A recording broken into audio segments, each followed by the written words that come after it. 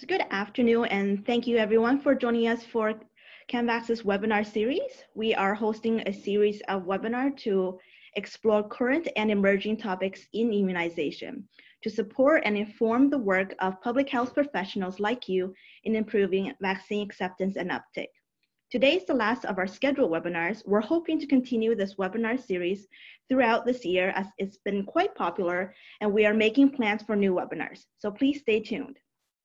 You can check for updates on our webinar page at the link on your screen, canvax.ca slash canvax-webinar-series. If you missed our previous webinars on living better, longer, the importance of influenza vaccine, or vaccine injury conversation, a complex conversation, or intensive mothering and vaccine hesitancy in the Web 2.0 era, or our last one, managing patients with adverse events following immunization, you can head over to our page to watch them now. Before we begin, we want to acknowledge that the CPHA's office is located on the original unceded territory of the Algonquin Anishinaabe people. They have been the guardians of this land for millennia, and CPHA is grateful for the example their stewardship provides. Today's webinar, Increasing Immunization Coverage by Strengthening the Decision-Making Process of Parents through motivational interviewing intervention in maternity wards, the Emmie program is brought to you by the Canadian Public Health Association through the Project CANVax and its partners, Immunize Canada, the IWK Health Center, and the Institut National de Santé Publique du Québec. I'm Rutian Xu, Project Officer on the CANVax project with CPHA, and I'll be your moderator for today. My co-host, Antonella Pucci, will be helping me throughout the webinar. If this is your first time on Zoom, please know that the webinar is being recorded and you will be using the Q&A feature at the bottom of your screen to, to ask questions to the presenter. Only you can see your questions and you may submit them anonymously.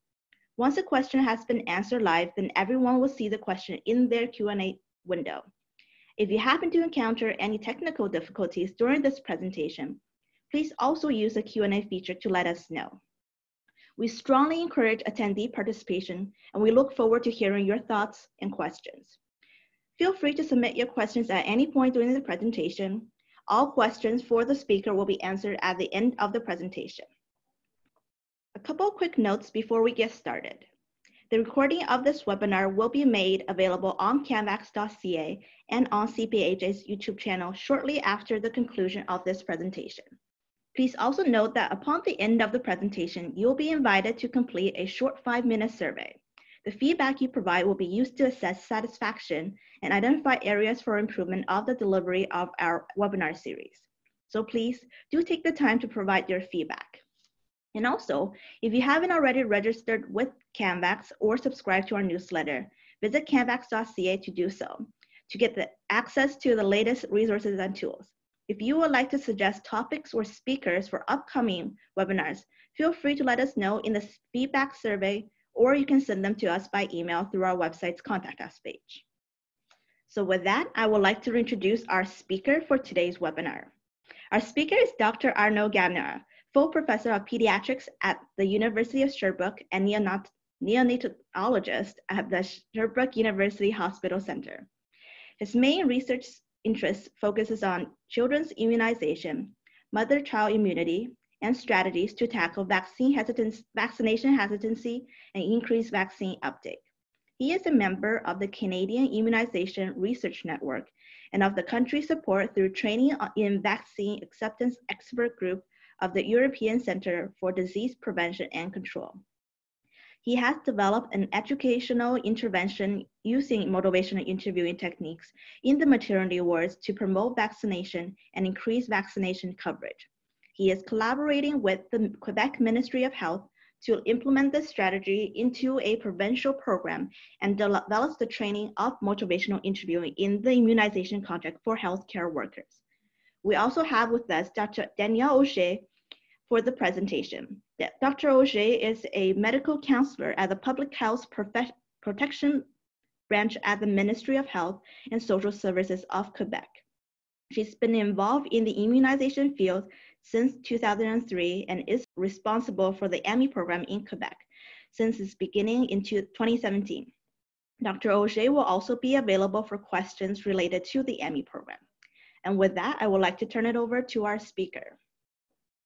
Hi, everyone. I'm very happy to be here to, to share with you this presentation about how we could increase the immunization coverage uh, by strengthening uh, the decision-making uh, process of parents uh, using motivational interviewing techniques in an intervention in maternity wards. So, so I would like to uh, thank you, Wilton and Antonella and the Canvax team to invite me to, to present uh, this, this slide. And I would like to uh, thank also uh, Dr. Danielle Auger from the Ministry of Health to be here with me to, to answer to all your questions. So first of all, I have no conflict of interest to declare. And I want to share with you an interesting uh, story uh, of a mother, which uh, to my mind illustrates very well what is uh, our approach with motivational interviewing. You could find uh, this interview of the mother in the Stat News uh, journal. It was affiliated to the Boston Globe, and I put the link in the presentation because the journalist interviewed this mother. I think it was a very interesting interview. So for the little story, uh, Mary Ellen was the mother of Toby, and Toby was a very premature infant uh, born in my unit, and he spent five months in my unit because he was very ill and very premature. And uh, Toby's mother was an anti-vax mother, and uh, she decided to not vaccinate him. And the day before returning home, the nurses called me and said, Arnaud, could you see this mother? I'm very afraid because Toby is not vaccinated and is going to to, to go home uh, in an unvaccinated family, uh, in an unvaccinated um, uh, um, uh, village. And so uh, on a Monday evening, I, uh, I spent one hour with, with Mary Ellen to, to speak about immunization. So uh, first of all, I uh, acknowledge Mary Ellen to be open to have this discussion with me. And first, I didn't want to try to convert, con to uh, convince him to, to vaccinate the child, but I want to understand why she didn't want to vaccinate Toby. So I said to her, uh, I know you want your best for your child and you think that to not vaccinate your child is the best choice. And I'm a neonatologist. I'm afraid of, uh, and I think it's very fragile. So uh, how could we could be uh, have uh, an agreement uh, to together to reach to this point? So at the first time, I listened only to Toby's mother during long minutes to uh, try to understand why she don't want to vaccinate the child. And I didn't want to try to correct directly his misinformation. And uh, at the end, she, she answered me, thank you. Thank you. It's the first time that someone in the uh, a healthcare professional, is the first time that a healthcare professional listened me and only listened me without trying to correct me. And after that, uh, we could build a trustful relationship. And after that, I could build a new knowledge with uh, Mary Ellen to be able to answer to all his concern about uh, measles and autism, about overloading the immune system. And we build together a new knowledge that makes sense for them. And at the end of the intervention, I said to Mary Ellen, I keep you, I leave you to think about this. I don't want to say me what you're going to do. Just think about this. It's your decision, and I know you are going to do the best for your child, and I will respect your decision. And the, uh, the day after, in the morning, my colleague in charge of the unit called me and said, What did you say to the mother? This morning, we give all the vaccine to Toby. And when, Mary Ellen returned home, she vaccinated all the child uh, living in the home. So I think it's a good illustration but how could uh, powerful could be a motivational approach with hesitant parents. So also, I think there is a, an information paradox uh, in vaccine hesitancy, because when you're looking at the literature about a traditional educational approach, you could see that information, to give information, to give facts, to educate people do not change belief or behavior and give more facts about vaccine, give more facts about vaccine preventable disease, using a prescriptive language and using a fear-based tactics is ineffective to address vaccine hesitancy and worst, it could backfire and reinforce vaccine hesitancy. But on the contrary, uh, when you are asking parents, what do you want uh, for communication about vaccination? Parents answer they wanted more information than they were getting. So what's wrong? Uh, there is some literature that uh, have proven that to give information that don't work. On the other side, you have parents that wanted more information. And maybe the problem is not to give some information, but how to give this information to parents and how to give information that makes sense for parents and help them to have a power uh, decisional process. Because parents want information presented clearly and simply tailored to the situation in a good time and they want balanced information about vaccination benefits and harms. So maybe the approach of motivational interviewing could be very helpful to reach these needs of the parents. In fact, resistance arises very often from the interaction. Uh, maybe uh, as a clinician or healthcare professional, you have experienced that and when a person doesn't feel listened or not understood, and think, or when she thinks that freedom to act or to seek is threatened, uh, very often the, the relationship could become a struggle. And as a clinician, very often we want to resolve our patient's problem, and we use what is called the righting reflex. And using the righting reflex, we tell the patient how to behave we adopt an expert role. We argue for the benefit of the change, warn about risk, and culpabilize the patient. And we give some information without asking permission and want to educate the client and want to convince him. And very often the righting reflex leads to a resistance with the patient and to a very difficult dialogue. Uh, we should also know that it's very difficult to change and to change a, mind, to change an idea is very difficult.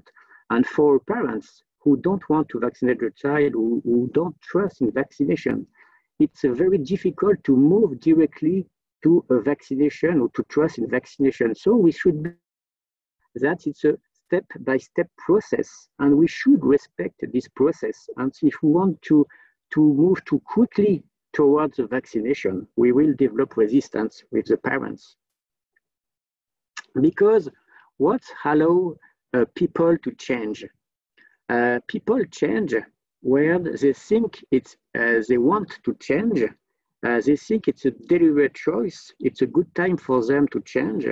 And they are confident in their abilities to change. So we should respect all these steps uh, during an intervention with parents. And the use of motivational interviewing is very helpful. Motivational interviewing was first uh, described by psychologists uh, Miller and Rollnick in the, with patients with addiction problem because they have seen that to tell someone don't smoke, don't drink, don't take drugs, it's bad for you, it doesn't work. But trying to understand why a patient to do that and trying to uh, establish a partnership with them to try to have some target of change together and to help the people to find himself his abilities to change is more helpful. So motivational interviewing is based on a spirit uh, with a partnership. Uh, we are not an expert, we have a pa partner with the, the patient.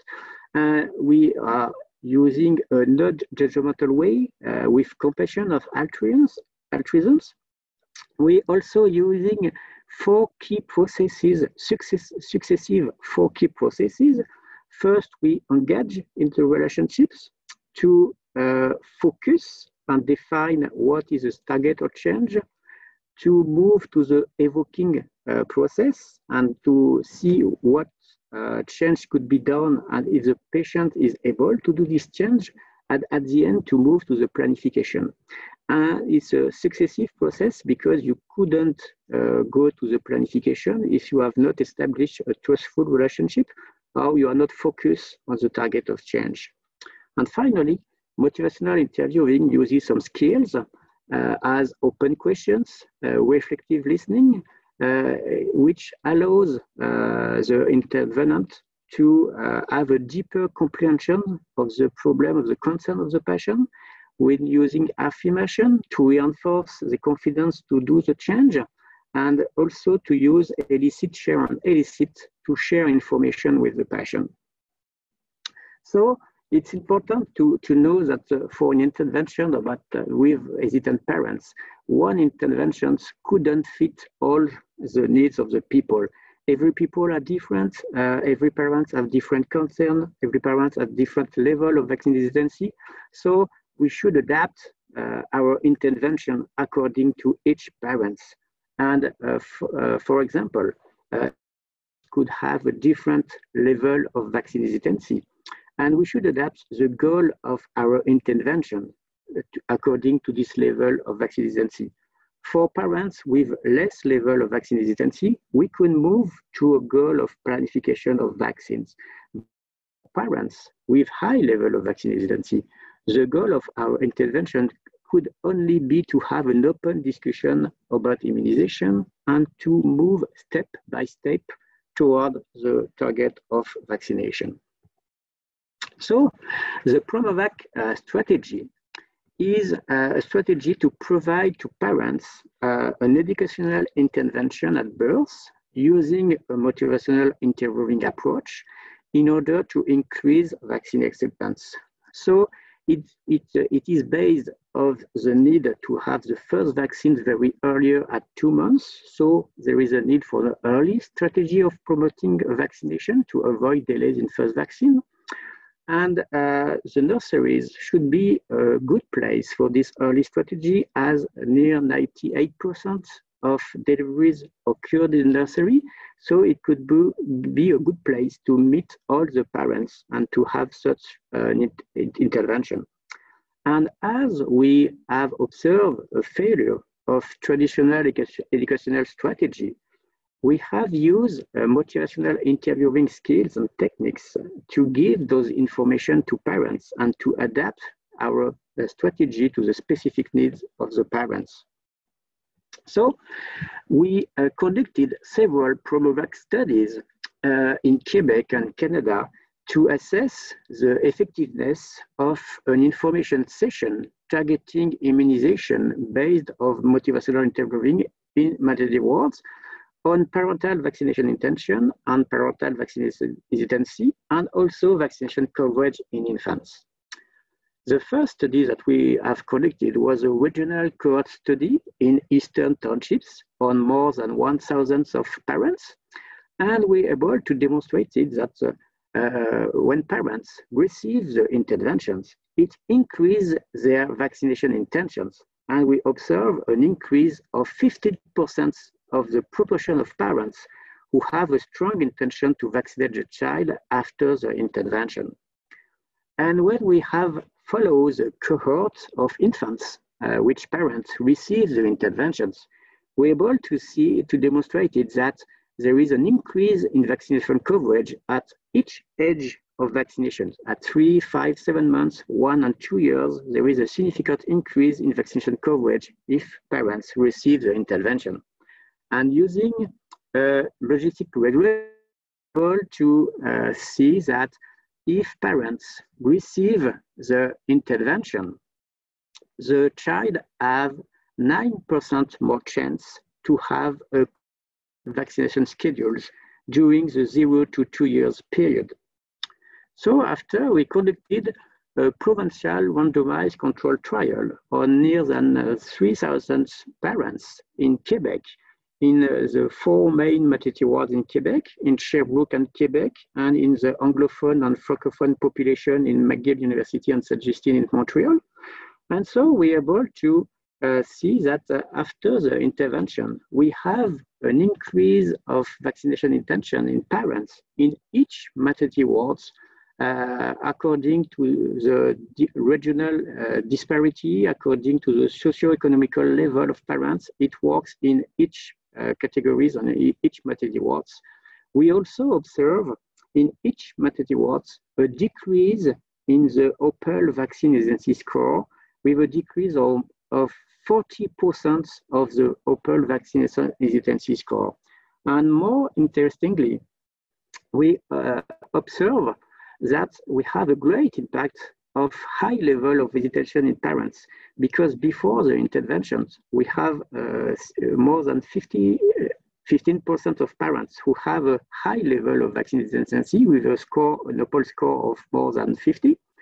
And after the interventions, we're able to divide it by three, the proportion of parents. We have a high level of vaccine hesitancy. And after the intervention, there is only less 5% of parents who have still, who still have a high level of vaccine hesitancy. So what works uh, with this approach? Uh, with uh, the, the, counselor is able to establish a trustful relationships uh, with the parents using the spirit of motivational interviewing and also the counselor has not a needle behind his back. He's not here to vaccinate the child. He's only here to have an open discussion with parents. So it's, more easy to establish a trustful relationships. Uh, secondly, uh, using the motivational interviewing skills, uh, with, with the skills, the counselor are able to give some information uh, presented clearly and simply and tailored to the specific needs of the parents and to adapt the interventions and the information uh, to the specific concern of each parents. And finally, the information is a, is a good time because it's two months before the first vaccine, and so parents have time to take the decision. They have no pressure on their shoulder, uh, there are no five minutes to take the decision, so it's more easier for her to think about this and to have an open discussion. So with the collaboration of the Ministry of Health in Quebec, we move uh, into a provincial program with the strategy in the program Emmie, Emmie for uh, motivational uh, interviewing in maternity wards for the immunization of uh, infants or children. Uh, the goal of this program is to offer to all parents during uh, at birth, during the stay in maternity wards, an open dialogue on vaccination with, with each parent in order to reinforce their decisional process and to provide the best protection for children while increasing the immunization coverage for all infants in Quebec. The program uh, was possible with the partnership of the uh, Immunization Partnership Fund. We apply with the Ministry uh, of Health in Quebec to this fund to implement the Promovac strategy into the maternity wards in Quebec. So the first phase of the Emmie program was funded by the IPF to uh, train the counselor and to evaluate the program. And the program by itself was funded by the Ministry of Health. Uh, this uh, this first phase occurred the two last year in maternity wards with more than 205, uh, 2,500 annual births, uh, which represent more than half of the Quebec annual births. And the second phase of the program is still ongoing to implement all the program in all maternity wards in Quebec. So the aims of the evaluation of the program was to assess uh, the implementation uh, by itself and the impact on the program in real life. We have used uh, the implementation science methodology with two models, the RE-AIM model and the consolidated uh, framework for implementation research model. Um, the first strategic decision was to uh, add uh, dedicated staff to do that.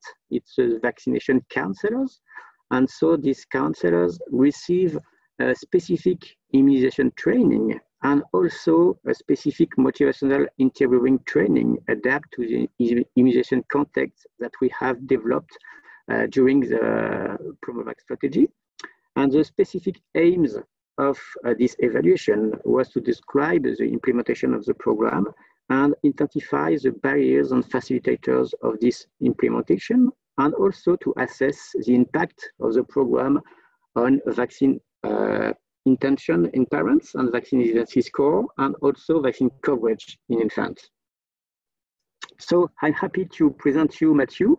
Matthew was one of our vaccination And uh, you could see uh, this uh, Matthew doing a, an intervention with parents in uh, maternity wards. So we were able to reach uh, near than 75% of parents. And the main explanation is that some uh, maternity wards have some difficulties uh, of recruitment of counselor. So there is breakdown of services. And uh, when we are looking on working days, we're able to see that uh, uh, each, par each parent could be reached in maternity World with near than 95% of parents uh, are rich in material world and near than 80% in military units. And where parents could be rich, uh, the interventions could be done uh, in the majority of cases. We have a very few refusal rates with less than 2% of parents to, who, receive to, who refuse to receive the intervention. And so what about the effectiveness of the program? Uh, we uh, have a random selection of more than 6,000 of parents who participating in the program. And so we assess uh, the impact of the program of vaccination intention in parents, and we observe a significant increase in vaccination intention in each maternity wards, uh, with a global increase of more than 10% uh, for the entire population uh, of the Emmie program. We also observe a decrease in vaccine hesitancy score with uh, uh, the proportion of uh, parents who have a very high level of vaccine hesitancy was divided by two. And after the intervention, we have only uh, less than 7% of parents who have still a high level of uh, vaccine hesitancy.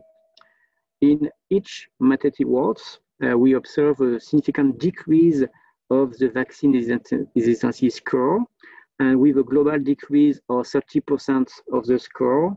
And in each maternity ward, uh, we have a significant decrease of the high level of vaccine hesitancy uh, that is divided by two uh, at the global level. So what about the impact on the vaccine coverage?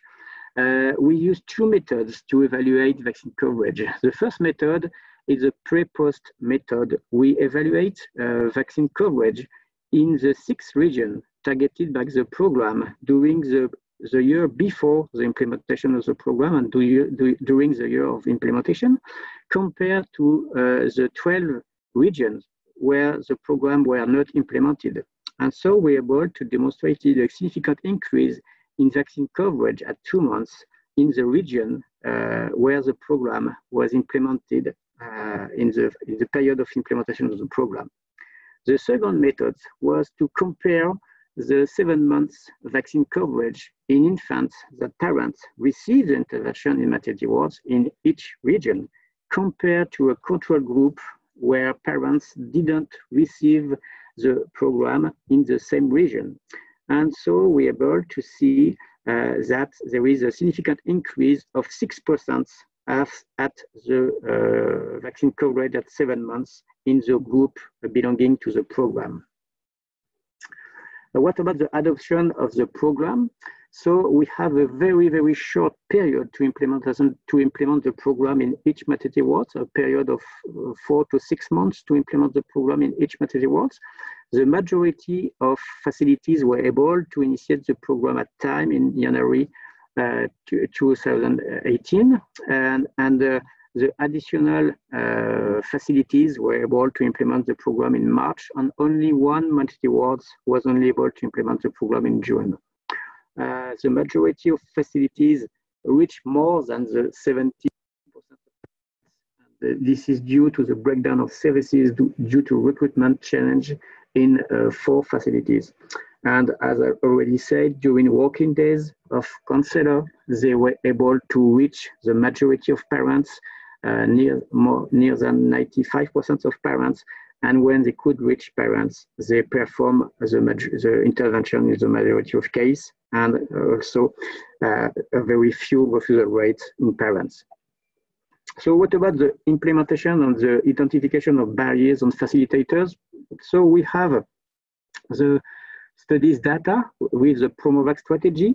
Uh, the PROVAC strategy, it's an intervention based on motivational interviewing uh, during the postpartum stay in maternity wards uh, with dedicated staff with in-person training. And we have demonstrated that it could increase parental vaccination intention and decrease parental vaccination hesitancy score, and also to increase vaccine coverage in the zero to two years periods. So uh, moving through the process of implementation into a, a provincial program. We identify several uh, facilitators and barriers. One main facilitator was a strong governmental support to the program with uh, local information support about the program. Uh, also, the counselors were well integrated into daily practice care and the program integration, acceptability, and prioritization was very well in the units. Uh, several barriers. It was a challenge to meet uh, parents in the neonatal units. It was more difficult than in maternity wards. And also, as a counselor, uh, we're a very small team of two to five um, counselors in each unit, they could have a feeling of isolation. Uh, we have also a very positive attitude towards the program with the manager and the counselor, and they are very confident that the program could reach the specific needs of the population.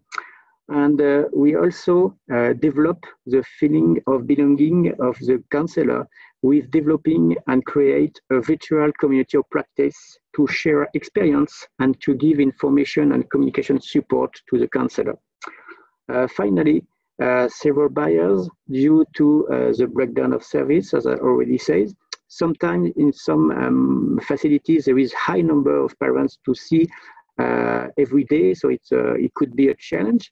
And we uh, also should adapt the trainings planification according to the recruitment process.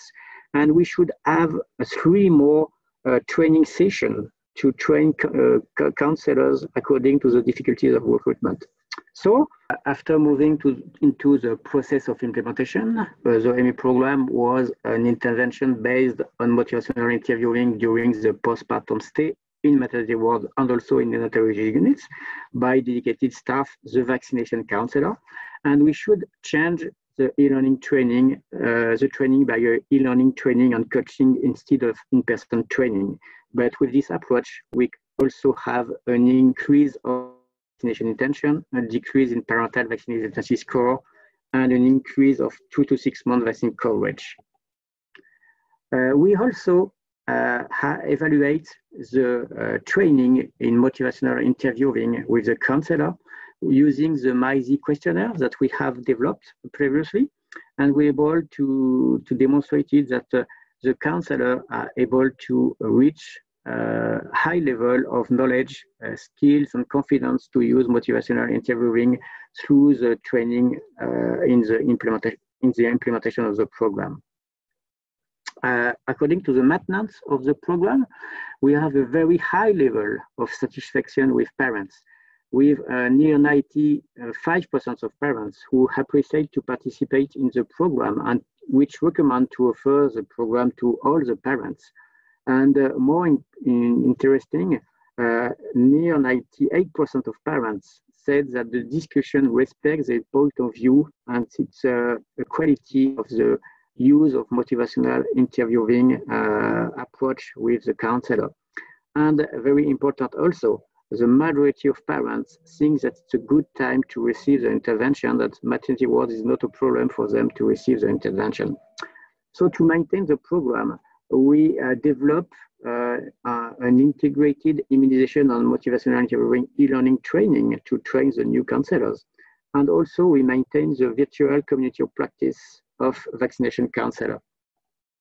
So few key points to conclude. Uh, maybe it uh, could seem counterintuitive uh, to a global uh, public health perspective to use an individualized approach and to use uh, an autonomy uh, approach of the decision.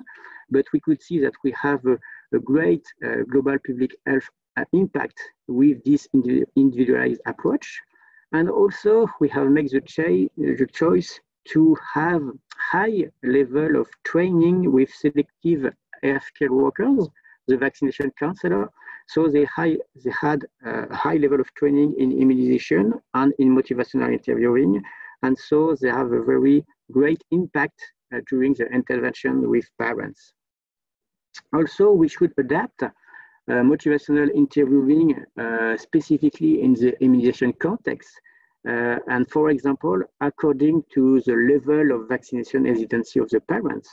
Uh, for example, according to the process of motivational interviewing, the less the parents are hesitant, the more we could use the planification process and the less we use the evocation process. So we should adapt the process of motivational interviewing according to the level of vaccination of the parents.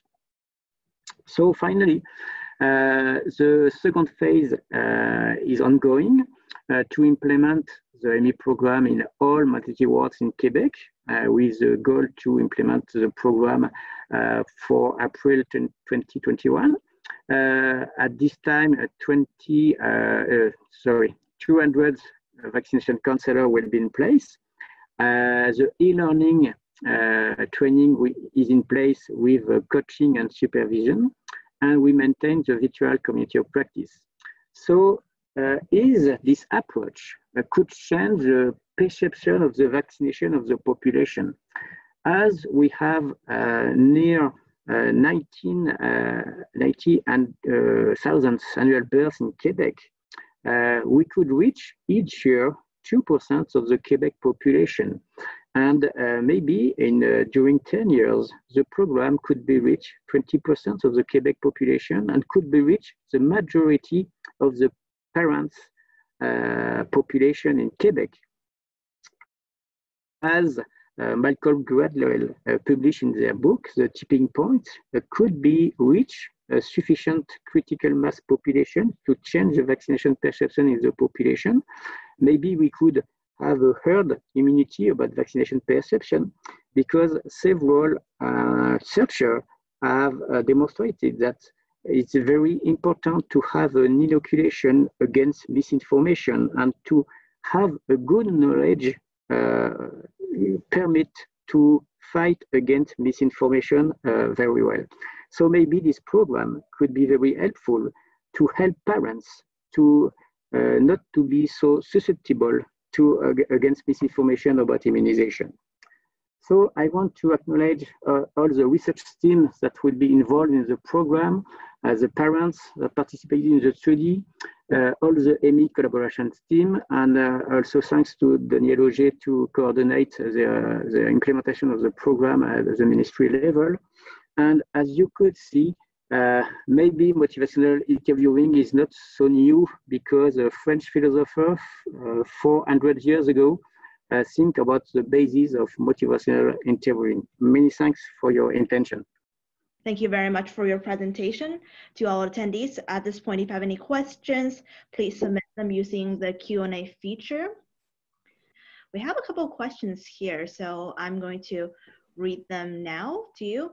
For our first question, coming from New Brunswick, um, in New Brunswick, they vaccinate for hepatitis B at birth. And so they have talked about implementing a program like this, but the concern is that parents have already decided whether or not they plan to vaccinate because the first vaccine is within a couple hours of birth. Do you have any comments on this? Yeah, uh, I, I think, yes. Uh, the PromoVac strategy was developed uh, to have an information session uh, two months before the first vaccine. But as I um, presented the example uh, of the Toby's mother, with a motivational interviewing approach, we could also have uh, a great immediately impact uh, because uh, Toby's mother changed his mind and decided to, to vaccinate the child just after. And uh, I think the most important is to keep uh, the decision to the mother, the parents, not trying to have immediately the decision, but when you keep the decision on their shoulder and say them that we will respect their decision, sometimes it's uh, the, there is a diminution of the resistance as they are going move quicker to the decision. And so I think it could also be applied uh, for hepatitis B vaccination uh, in maternity wards. Okay, thank you very much. Um, we have another question. Has uh, motivational interviewing been looked at from a public health nurse perspective, or have the public health nurses been trained in motivational interviewing? And could this intervention be offered at the postpartum visit, thereby reinforcing the information provided in hospitals? Yes, it's a, a great question. Uh, maybe, uh, Danielle, you could add uh, some additional information. And uh, yes, it, it could be very, very interesting to offer this, um, this training uh, for public uh, health nurses because it's very interesting according to the program strategy, but it's very interesting also for the people that practice immunization to have uh, some skills and some uh, basic uh, techniques of motivational interviewing to receive parent concern and to uh, be able to have less resistance during the act of vaccination. So it's, uh, it, will, it could be very helpful. And uh, there is another part of the question, but I didn't see on my slide. yes, and um, yes, uh, we have developed the concept in maternity wards because in Quebec, uh, the organization of mater in maternity wards is the same in all regions in Quebec. But the postpartum care is not organized in the same way in, in all the region in Quebec. So it's very it's more difficult to implement a program with uh, several difference in logistical organization of postpartum visits in, uh, in, all the region. So it's why we decided to, to keep the PromoVac concept and to uh, apply this uh, strategy in maternity wards. But probably it could work uh, also uh, during the postpartum visit.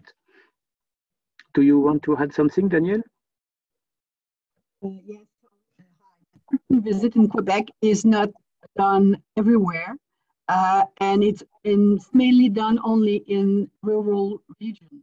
So to reach the parents uh, through uh, the visit would mean that we would lose the majority of parents because in urban center, uh, the visits are not done for everybody.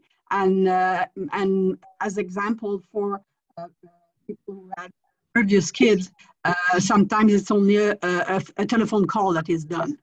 So it wasn't an option, and that's why we, we implement the program at, in the maternity ward. Um, for the first part of the question, uh, motivational interviewing is part of the basic academic uh, curriculum of uh, nurses at the university level. Um, but, and it, it can be something that is uh, useful, I would say, as uh, in, in different parts of the, of the interaction that the, uh, every healthcare worker have with the parents. But the main, um, I would say, caveat of that is to, to keep uh, using these strategy, you really have to use it on a regular basis.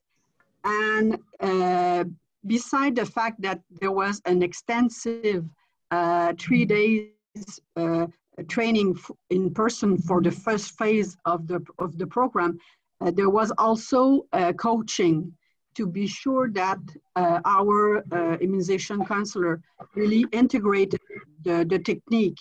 And that's where it's hard. It's, it's, it's, easier to uh, maintain their, um, their expertise for a small group and to be sure that the, the intervention was done, was giving the, the good way uh, instead of, of trying to train and supervise uh, thousands of nurses all over our province. So, so that's why we, we did it that way. And also the fact that we had the proof of concept through uh, Dr. Gagneur uh, study.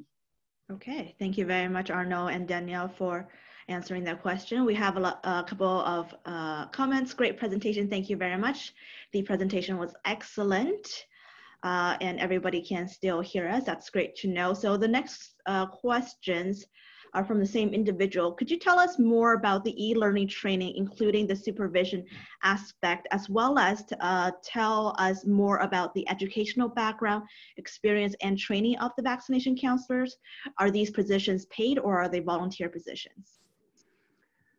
I think we, we are going to, to take the same methods. I'm going to to, to try to develop uh, the answer and Danielle could, could complete my answer.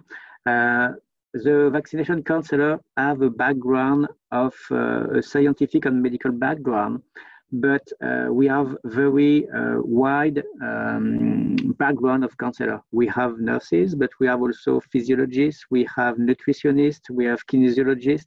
So we have very lots of people, and the most important thing is to just have um, a scientific background to be able to understand uh, the immune system and what it is the immunization uh, to have the immunization uh, background and also to have a great motivation to, to, to learn motivational interviewing and to practice motivational interviewing. It's, uh, it's very important. But uh, so we move uh, as we have some very um, difficulties to to organize training person, uh, session in person according to the recruitment process. We move to the e-learning training. So uh, the counselor have to uh, to have a part of e-learning with the e-learning of the protocol of immunization in Quebec for the background in immunization. They also have a training in the basic basis of motivational interviewing. It's an e-learning training of the Institute, uh, National Institute of Public Health. And we add at this training an integrated, integrated uh, e uh, immunization and IMI training um, with some example of uh, how to give information to parents, with example of uh, how to use the process of motivational interviewing in the immunization context, and with example of high level of vaccine hesitancy, low level of vaccine hesitancy, or intermediate level of vaccine hesitancy to demonstrate to the counselor how to adapt the use of motivational interviewing according to the level of vaccine hesitancy. And after this e-learning, there is a coaching supervision with motivational interviewing trainers that have a, a, a con uh, with the trainees and also with some webinars and to, uh, to be sure that the trainees are using well motivational interviewing.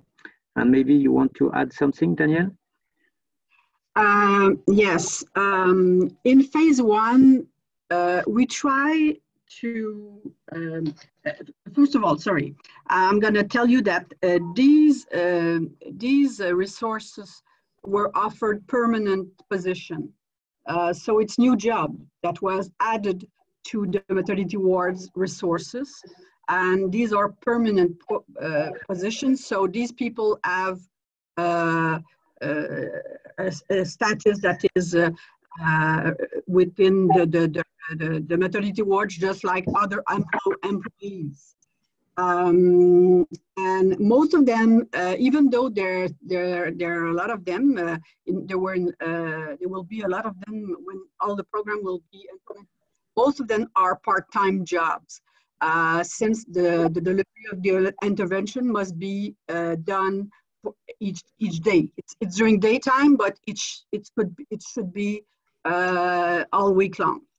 Um, and uh, as Arnaud said, uh, in phase one, uh, we didn't really um, suggest to the hospital to hire nurses uh, to, to become vaccination counselor, uh, since we were um, afraid that um, if it was a nurse on the ward that would be vaccination, the vaccination counselor, if there would be a shortage of, of uh, resource uh, in other aspect of the world, they could be, uh, I would say, in a way, kidnapped to do other jobs.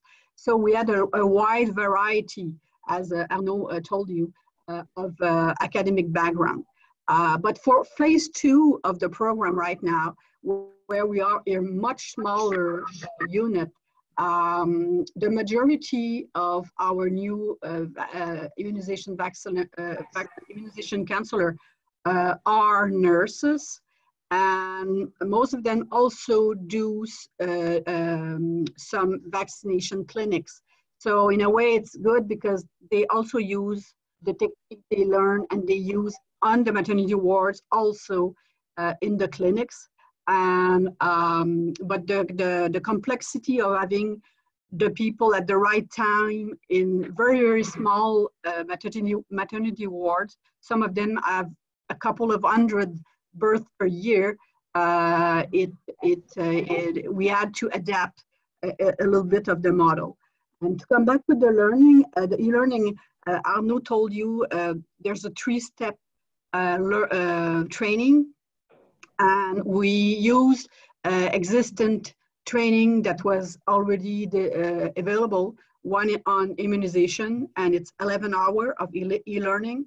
Another one uh, on uh, motivational interviewing that is that's a five hour e-learning uh, uh, training that is already offered for other other domain.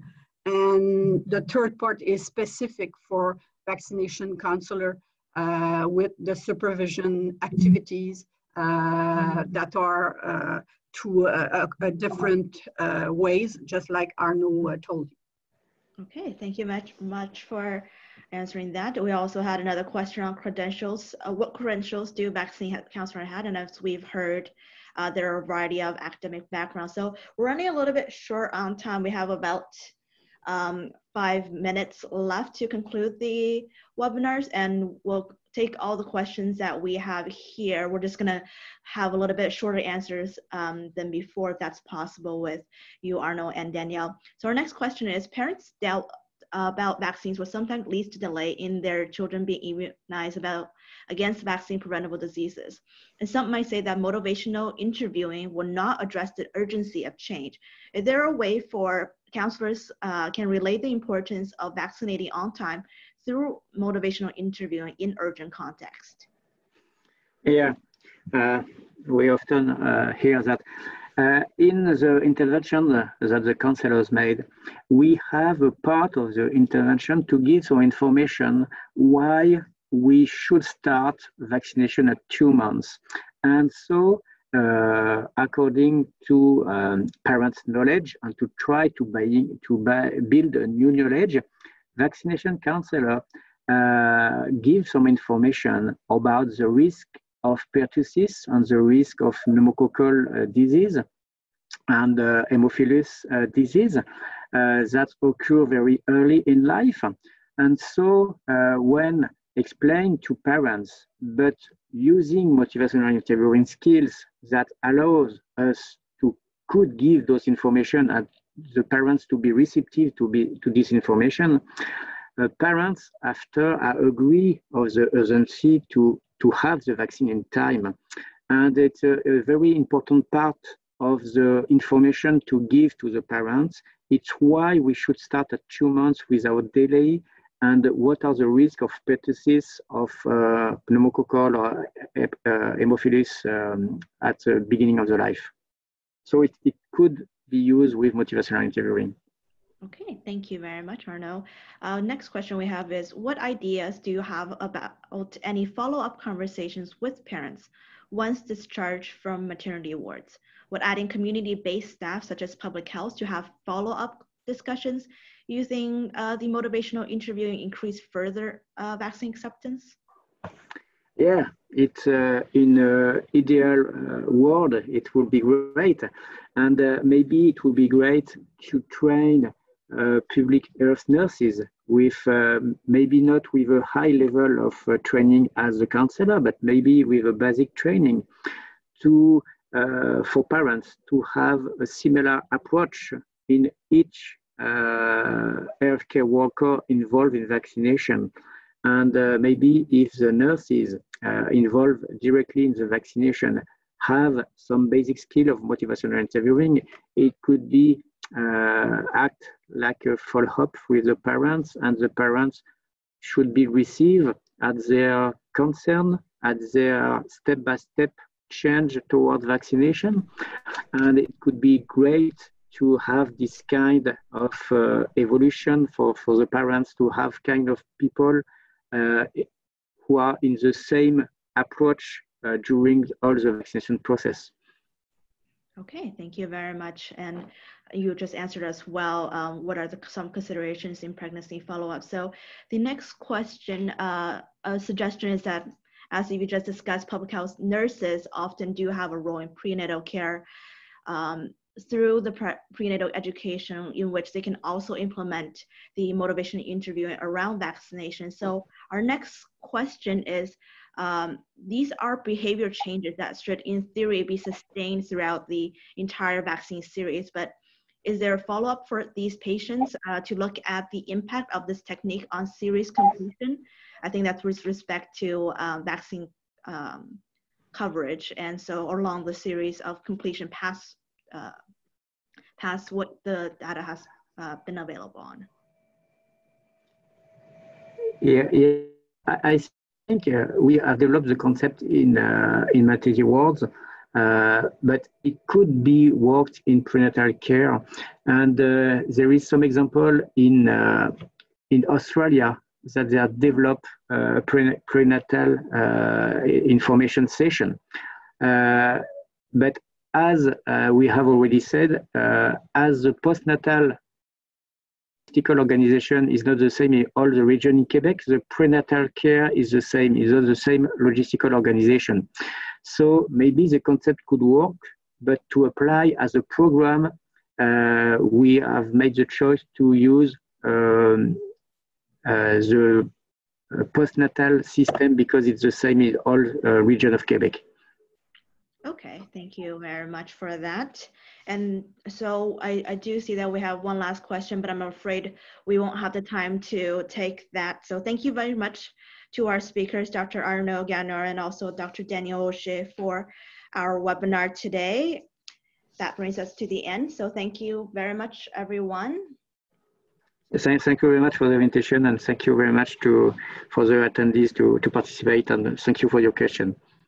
Yes, so we hope that you enjoyed our webinar series um, as well as the webinar for today, which was fantastic on motivational interviewing and what goes on in um, creating that. As a reminder, if you'd like to suggest topics or speakers for upcoming webinars, you can let us know in the feedback survey that will be made available upon the end of the webinar. So have a good, wonderful afternoon, everyone. Thank you very much again for attending.